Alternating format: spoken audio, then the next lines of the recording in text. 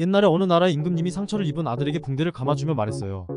얘야, 앞으로 이 붕대가 풀리지 않도록 조심하거라. 이 붕대를 감고 있는 동안은 먹거나 뛰거나 물에 들어가도 아프지 않을 것이다. 그렇지만 이 붕대를 풀어버리면 상처가 더 심해질 것이다. 사람도 이와 비슷해요. 사람의 마음속에는 나쁜 쪽으로 치우치려는 성질이 있어요. 하지만 법을 지키고 법에서 벗어나지 않으려 노력하면 나쁜 성질이 드러나지 않아요. 법률은 마치 상처를 보호해주는 붕대와 같아요.